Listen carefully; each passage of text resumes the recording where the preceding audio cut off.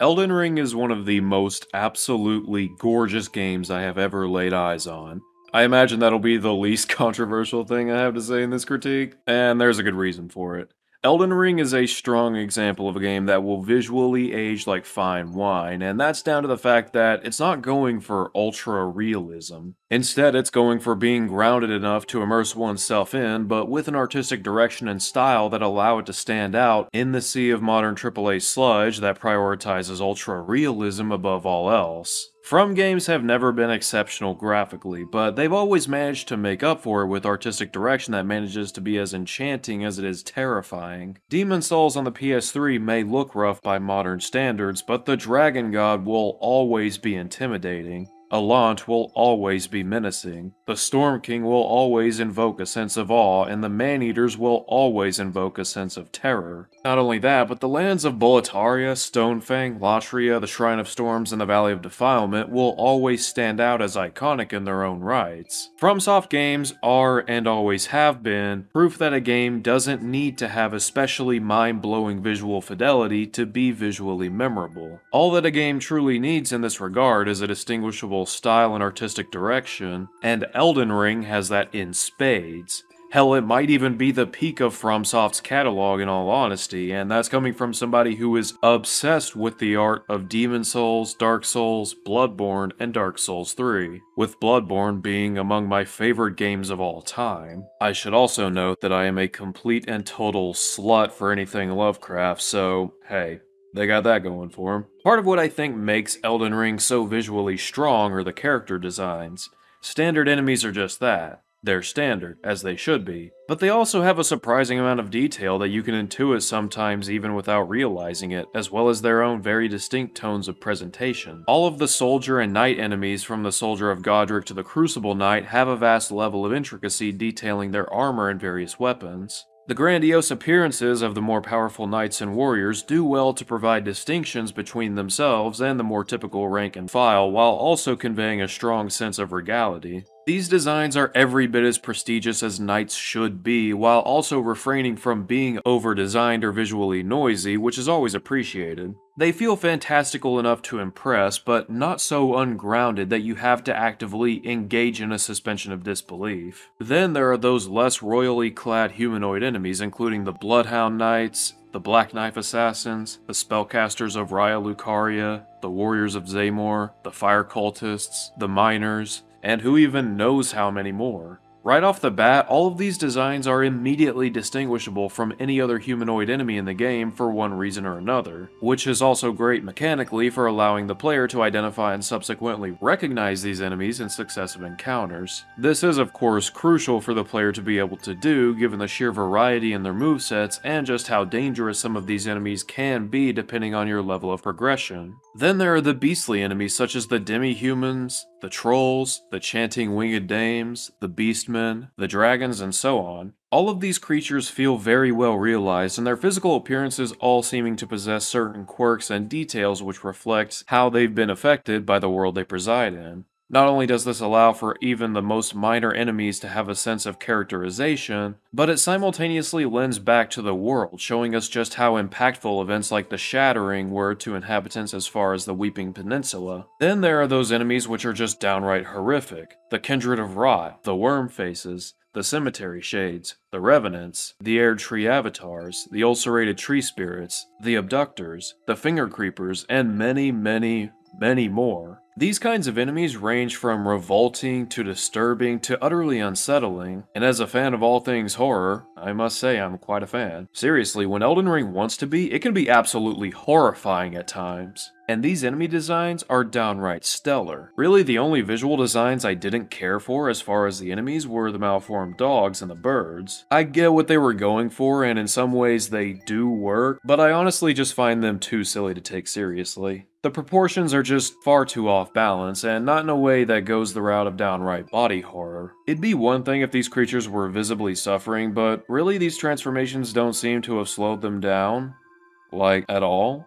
If anything, they're more dangerous. The Bloodbirds of Mohgwyn Palace almost hit the nail on the head, but again, the proportions are just I don't know, it feels like if they'd been toned down slightly, these enemies would have been pretty damn scary. As it stands, they're more weird and kinda goofy than anything, though I admit that is pretty subjective. Also, can I just say how fucking cool this dog is? Then there are the bosses, and I know, I know, I've been talking a lot about bosses throughout this critique, but if we're gonna talk about the artistic direction and visuals, how are we not gonna talk about some of these bosses? Some of the standouts for me personally include, you guessed it, Placidusax and Godfrey, but also the Elden Beast, Astel, Malenia, the Crystalians, Rykard, and everyone's favorite allegation defeater, Mohg. I know I like to dick ride Placidusax, and hey, who can really shade me for hopping on that double bad dragon? That shit takes courage, am I right? But I don't think anyone is gonna try and deny that Placidusax might just be one of the coolest looking dragons in From's catalog. It's literally Old Man Monster Zero. The degree at which he's become so decrepit is honestly as tragic as it is revolting, and yet there's an undeniable grace and mystique in the way he moves despite the fact that he is likely eons old. Plus, I mean, come on, the red lightning and gravity beams are fucking radiant.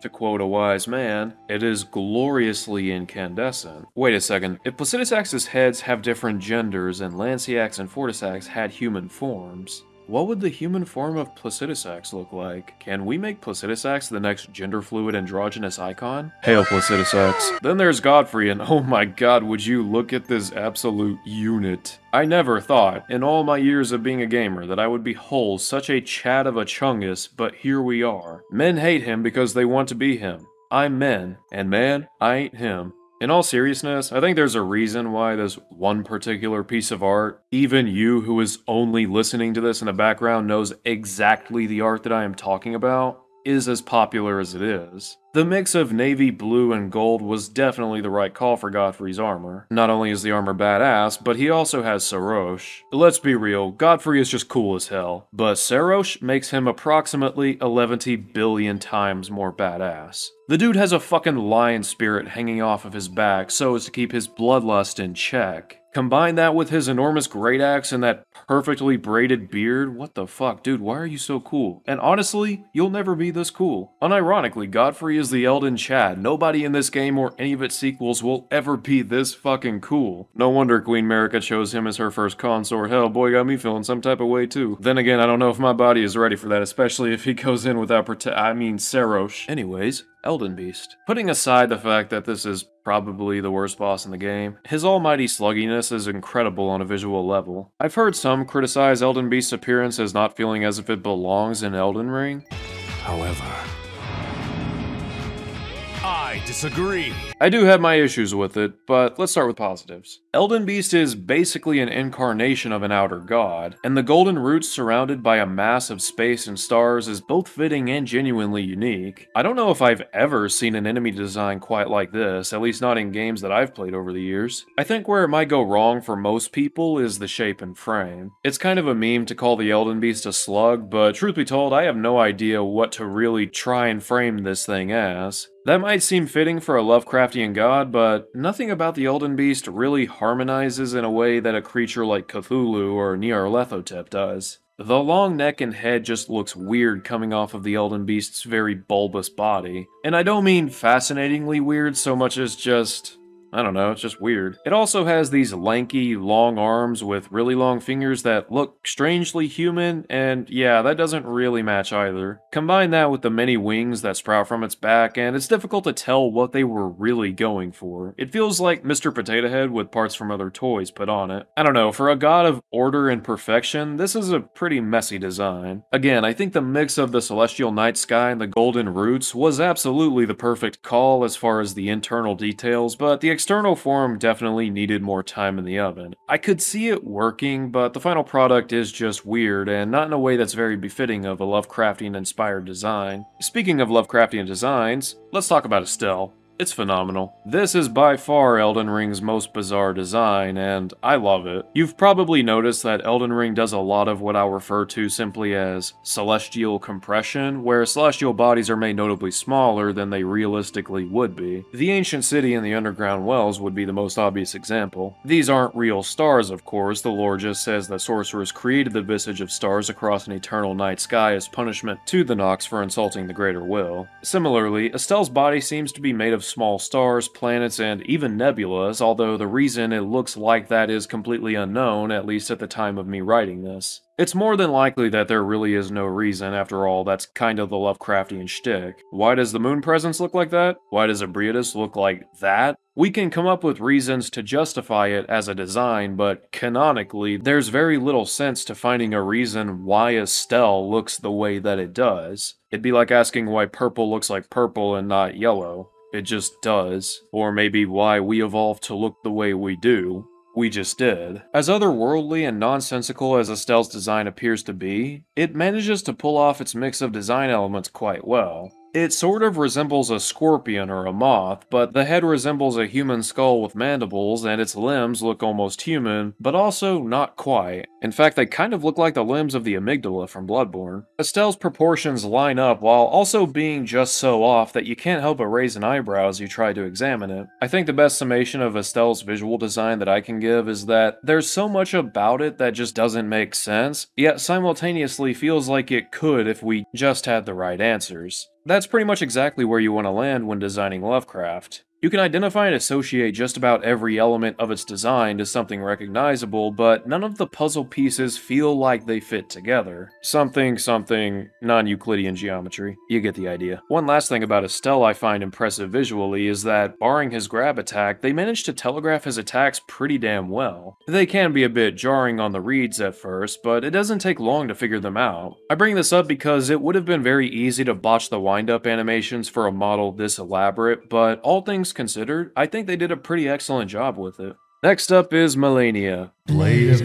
I've mentioned before that I think her design is phenomenal, and I meant it. Pale Scarlet and Gold was a fantastic palette choice, and both go well with her pale complexion as well as the splotches of rot that litter her body. The mechanics of her armor are obviously quite complex, but they manage to avoid going so far that they start to feel out of place in a setting like this. This armor was designed by Miquella, so there's a bit of a combination of magic and technology happening here. On one hand, her sword can link up with her arm in order to free her hands up, which you can clearly observe. On the other, she can suddenly control the mechanical arm as soon as it becomes attached to her, even though the connection appears as simple as wedging it into a slot. This is, obviously, straight up magic. But that's okay because Miquella was an Empyrean demigod, meaning we can infer even before we meet him in the DLC that his unalloyed gold had magical properties to it. In fact, we know it does because it also wards off those pesky outer gods. Malenia's design is basically a cross between a Valkyrie and a samurai. Having her fighting style be akin to a samurai makes sense given she's supposed to be something of a foil to Radahn, but samurai are also mostly known for being male. There were female samurai, hot, but they are sadly nowhere near as recognized as their male counterparts, especially outside of Japan. This is probably also because female samurai wore identical armor and war paint, or at least that's what I've managed to infer. There's little artistically depicting female samurai that distinguishes them from the males. Valkyrie, however, were exclusively female, and so it makes sense for Malenia's visual design to lean more that way so as to establish an identity for her character. Plus, it gives them a reason to give her wings when she goes goddess mode. Combine that with her being descent from Radagon and Marika, and pretty much every element of her design fits together perfectly. There's also something to be said for the blind swordswoman. It's a gimmick as old as time, but Damn if it's not cool. Be it Zatoichi, Kenshi, or that one guy from Rurouni Kenshin, blind swords wielders are just, I mean, let's call them what they are. They're fucking badass. And Malenia is no exception. She's not even naturally blind, it's just an effect that's occurred from living with the scarlet rot inside her, and that adds an element of tragedy to her already fantastic visual design. What else can I say really? As far as visual designs go, Blade is fantastic. I do wish they'd tone down the butterfly effects of her wings for the fight itself, but it still looks incredible and everything ties together very cohesively. But everyone already knows how cool Malenia is, so let's talk about a design that I consider criminally underrated, that being the Crystalians. They're magic rocks that have come to life, they never fail to stand out, but they never feel out of place either. I do question why they appear in the Haligtree of all places, but I've already talked about that level and its weird reuse of enemies, so I'm not gonna go there again. Apparently they also served as teachers to the sorcerers of Caria. They almost feel like dragons in Dark Souls, where they just kind of always were, and that's just a fact about the world that doesn't need to be explained. Kinda like a Astel in the Falling Star Beast also. And I like that. It adds to the mysticism of the world and really makes you wonder what more there is to learn about them. They obviously have some degree of intelligence and perhaps even wisdom, but do they have a society or culture? It's hard to say, but that's half the fun in games like this. Then there's Rykard. He's incredible. Souls games have often struggled with bosses of this scale, but I think they did a great job with presenting Rykard. His model is very compact, and his movement is extremely limited, which makes it easy for the camera to keep track of him. Not only is this great mechanically, but it also makes it easy to frame the boss's animations, all of which are fantastic. I know this isn't technically visual design, but the presentation of art is often just as important as the art itself, and Souls games have always had a strong grasp of this, with Rykard being no exception. The god-devouring serpent is basically a gigantic snake. The design is fairly simple, but it's presented in a way that makes it feel far more grandiose than it otherwise would. This also lends to the big reveal of Rykard in the second phase. He's absolutely disgusting, and yet you just can't take your eyes off of them. My fiance, for example, is often very squeamish when it comes to body horror, and I thought for sure that she was going to look away when he pulled out the blasphemous blade, but nope. Her eyes were glued to the screen the entire time. That, to me at least, is a sign of some primo quality visual and artistic direction. A completely subjective anecdote, sure, but hopefully one that makes sense. The sudden transformation from a giant serpent to the mad serpentine demigod with arms and a face is pretty mind-blowing, made all the more grotesque thanks to the little wiggly arms and the similar details lining his weapon, wounds, and so on. Even after the boss, when you come back to the arena to find Rykard's severed head, you can't help but gaze at all the strange, actively moving details in his wounds. Anastasia even claims him to be immortal and that he will one day recover, which is fascinating to consider, not just as a lore and narrative detail but just wondering what he'll even look like at that point or even part ways through the healing process. Then there's Mohg. He honestly might be my favorite visual design in the game. The Omen are already naturally interesting due to their deformities contradicting their godly heritage. Seriously, how did this thing spawn from Godfrey, and Marika. Regardless, I think Mohg's visual design is incredible. The fact that one of his horns has grown inwards and impaled his right eye, making him partially blind, is fucking metal. But it doesn't seem like it's slowing him down at all. Everything about his garb and even his weapon of choice feels so unholy and utterly foul. Black robes lined with red and gold, a pitchfork which spews fire that causes you to bleed to death, massive black feathered wings. He's basically the devil and I'm here for it. Then there's his Phase 2 transition. I know I talked about it already with the OST, but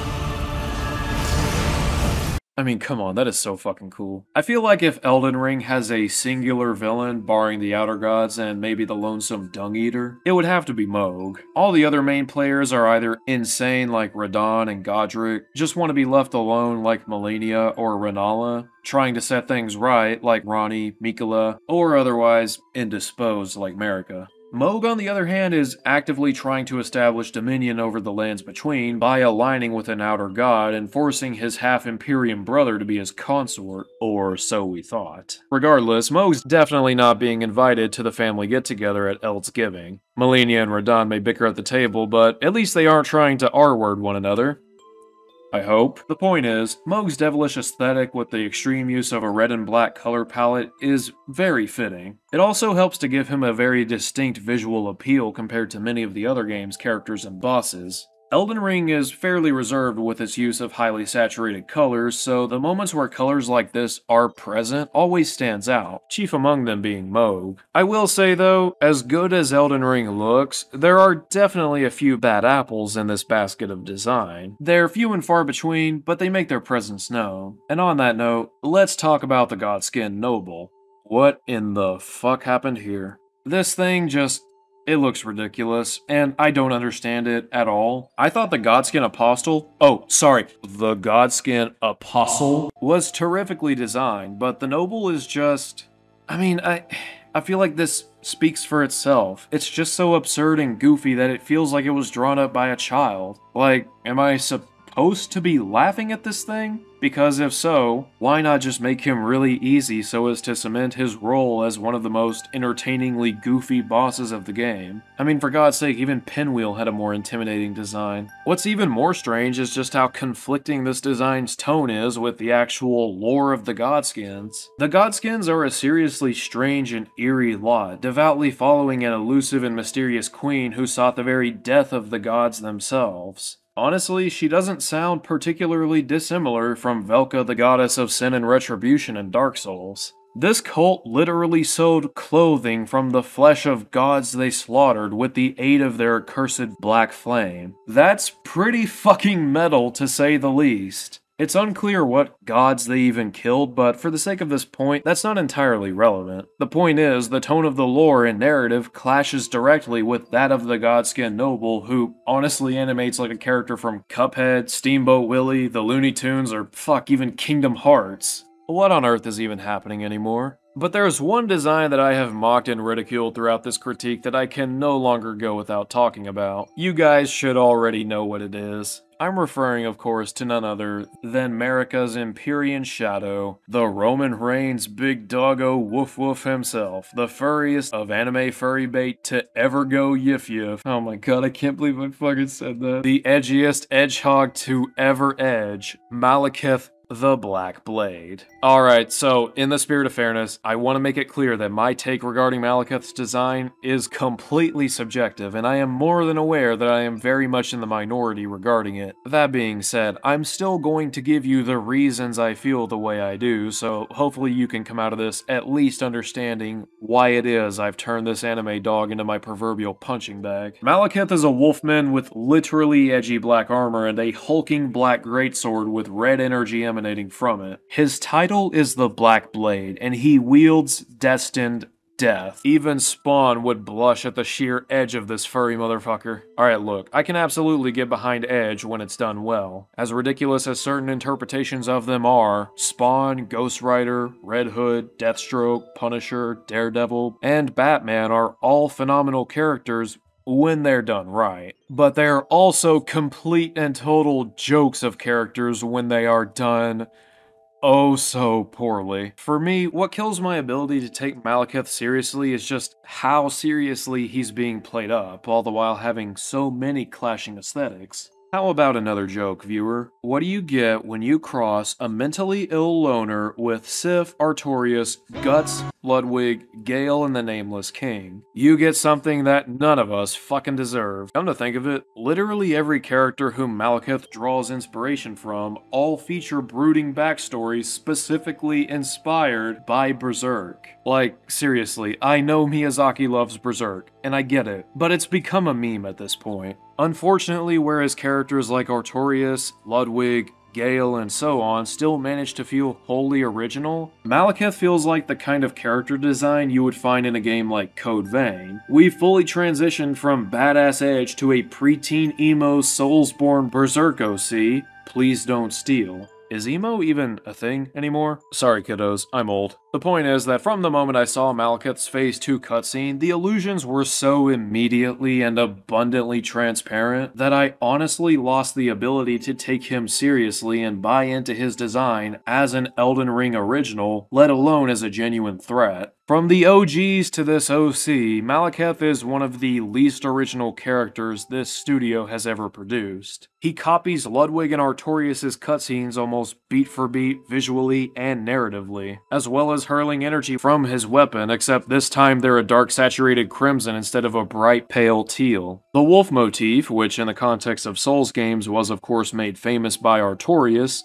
is obviously a core element of Maliketh's design, being the framing for which every other detail is fitted into. He flies around swinging his sword all over the place in a manner not too dissimilar to Gael from the Ring City, however the difference here is that there's nothing holding Maliketh back other than his own intentional delays from swinging his sword as if it were a stick that didn't weigh so much as a pound despite him being an emaciated wolf. Gael, on the other hand, had a lot more heave and stress even as far as his final phase. As many swings, flips, and leaps as Gael did, there's not a single animation of his which sticks out as strangely breaking of the grounded nature of these games.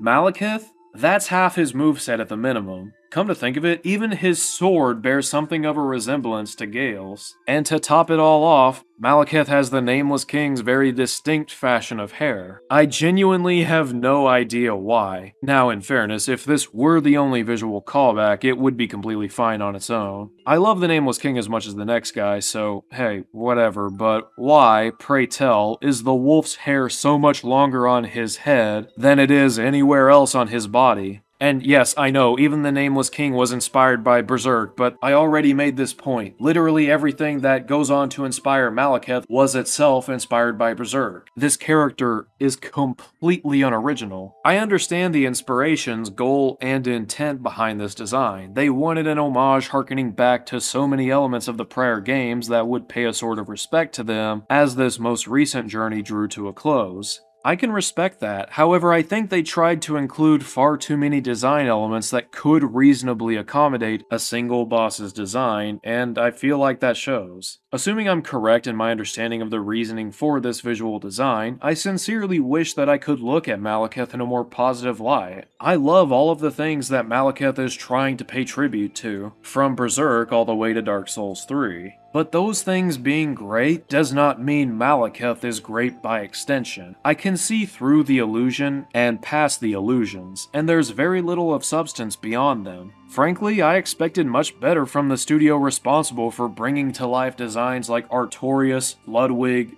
Gael, and the Nameless King.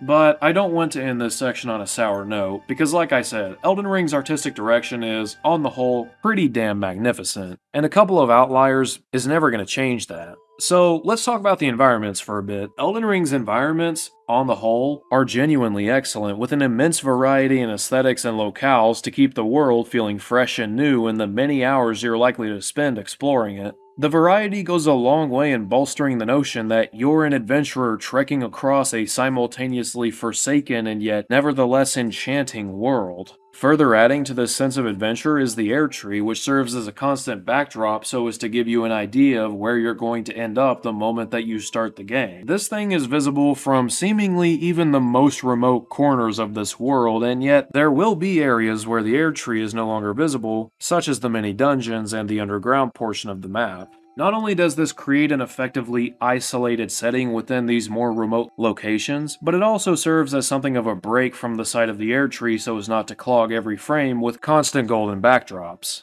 The Haligtree also stands out thanks to its backdrop featuring a similar and yet simultaneously quite different magical tree aesthetic. Speaking of areas cut off from the Erdtree aesthetic, the ancient underground cities have to be among my favorite environments in the game by far. They're honestly magnificent. I took the elevator thinking I was going to be taken to yet another generic dungeon or something, so imagine my surprise when it turned out I was going into an environment with more stars than the Hollywood Walk of Fame. These areas strike an incredible balance between fairy tale folklore and straight up cosmic horror. It's beautiful, but you always get the feeling that something horrific must have happened for things to turn out this way. There's a lot of history to uncover here, and you can tell that just at a glance. Honestly, I would have really enjoyed seeing more of these environments revisited in the DLC. The Cerulean Coast almost hits the mark, but it's just not quite what I had in mind. Finally, I just gotta mention, the cutscene cinematography in this game is fucking stellar, except for Maliketh's. Which, I mean, hey, that's pretty much what you would expect from a FromSoft title. It almost feels like the camera itself carries this sort of reverence for the game's greater bosses, and that it understands the magnitude of things like seeing Ranni's two fingers and inheriting the frenzied flame. There's a lot of drawn out panning still shots and not a lot of cuts. You can tell the cinematographers want you to really take things in as they're presented, and I respect the hell out of that. As much as I may criticize Radagon and the Elden Beast, even their cutscenes look tremendous. There's no denying it. Seeing Marika crucified on the Elden Ring and Radagon raising the hammer I imagine was used to invoke the Shattering, it's played up every bit as much as it deserves. I will say some of the DLC cutscenes went on for a bit too long. Mesmer's Phase 2 transition was genuinely incredible, but also, why is it this long? But you know what? It's fine. Renala's Phase 2 cutscene in particular is downright awe-inspiring. I really appreciate the fact that even the worst of the Remembrance bosses have such exceptional presentation to them. Except Maliketh. Look, I'm not apologizing. Maliketh fucking sucks.